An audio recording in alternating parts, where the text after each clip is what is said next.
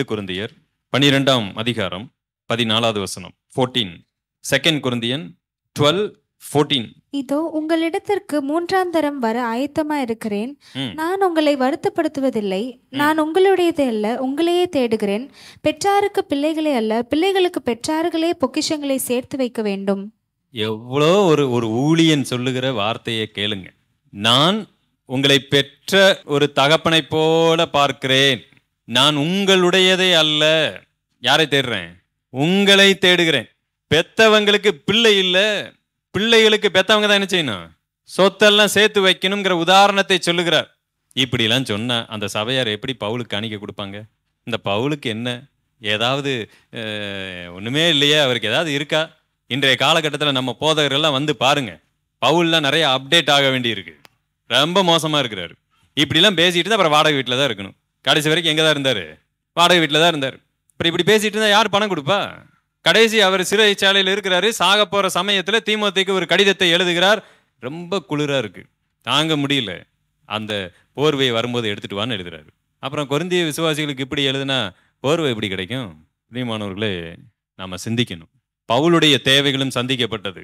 பிலிப்பிய விசுவாசிகள் சிறைச்சாலையிலே பவுல் இருந்தபோது அவருக்கு என்ன செஞ்சாங்க? பொருளுதவி செய்தார்கள் பண உதவி செய்தார்கள். கொரிந்து சபையில் இருக்கக்கூடிய சிலர் பொருள் உதவி பண உதவி செய்திருக்கிறார்கள். ஆனால் பவுல் என்ன மனநிலைமையில் இருக்கிறார் பாருங்க நான் உங்களுடையதை அல்ல உங்களை தேடுகிறேன். நீங்க எனக்கு முக்கியம். ஒரு தேவ ஊழியத்தினுடைய மிகப்பெரிய நோக்கம் சர்வீஸினுடைய மிகப்பெரிய நோக்கமே மக்களை ஆசீர்வதிக்கத்தானே ஒழிய மக்களை பயன்படுத்த அல்ல. மக்களை கொண்டு நாம் செழிக்க அல்ல. நோ மக்களே ஒரு ஊழியனுடைய தேவைகளை சந்திக்கணும். அவங்க மனமும் வந்து அதை செய்யட்டும். ஆனால் ஒரு ஊழியன் மக்களை பயன்படுத்தக்கூடாது. ஒரு ஊழியன் மக்களை பிரெயின் வாஷ் பண்ணக்கூடாது. ஒரு ஊழியன் மக்களை கொண்டு தான் செழிப்பாய் வாழ்ந்து விடக்கூடாது. ரொம்ப யோசிக்கணும் நம்ம. சகோதரர் இப்படி தான் என்கிட்ட கேள்வி கேட்டார். நீங்கள் இப்படிலாம் பேசிகிட்டு இருக்கிறீங்க. அப்போ நீங்கள் சொந்த வீடு வாங்க மாட்டீங்களா? இப்போதைக்கு வாடகை வீட்டில் தான் இருக்கிறேன். ஒருவேளை சொந்த வீடு வாங்குறேன். ஓகே வச்சுக்கலாம். என்னைக்கே வாங்கக்கூடிய ஒரு சூழ்நிலை வருது. வாங்குறேன்னு வச்சுக்கலாம். சரி என்னைக்காவது கார் வாங்க மாட்டீங்களா? சரி ஒரு பென்ஸ் காரே நாளைக்கு வாங்குறேன்னு வச்சுக்கலாம். ஒரு உதாரணத்துக்கு சொல்கிறேன் நாளைக்கு நான் ஒரு வீடு வாங்குறேன். நாளைக்கு ஒரு பென்ஸ் காரே வாங்குறேன். ஏன் இன்னும் ஒரு பத்து பென்ஸ் காரே வாங்குறேனே வைங்க. என் காணிக்கையில் தான் நீ இப்படி வாங்கின அப்படின்னு இங்கே இருக்கிற நீங்களோ திருப்பூரில் இருக்கிற யாரோ யாராவது ஒருத்தர் என்னை கை காட்ட முடியுமா அப்படின்னு கேட்டால் முடியாது. ஏன்னா நான் இங்கேருந்தும் காணிக்கைக்காக எதையும் உங்ககிட்ட என்ன பண்ணலை பேசலை. நீங்களும் வந்து தனிப்பட்ட முறையில் உங்ககிட்ட வந்து பிரெயின் வாஷ் பண்ணி உங்களை தசமாக கொடுத்துடணும். பிரதர் ஏதாவது சொல்லியிருக்கண்ணா? சொல்லலை. அப்படி ஒரு வேலை சொல்லி இருந்தா நீங்கள் எல்லாம் என்ன என்ன பண்ணலாம்? கை நீட்டி கேட்கலாம். நீ ஏன் அந்த கார் வாங்கின பென்ஸ் வாங்கின இருபத்தி நாலு மணி நேரமும் எங்ககிட்ட த- காசை கேட்டுக்கிட்டே இருக்கிற நீ இப்போ இதெல்லாம் கேட்டது எதுக்கு? இது வாங்குறதுக்கு தானா?